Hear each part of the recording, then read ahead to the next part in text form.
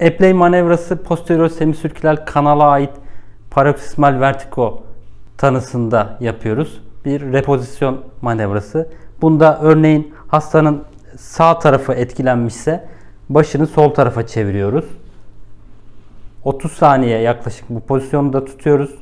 Daha sonra hastayı sol tarafının üzerine yatmasını söylüyoruz. Sola yatalım. Yan dönelim. Yaklaşık 30 saniye bu pozisyonda tuttuktan sonra başını aşağıya doğru çeviriyoruz.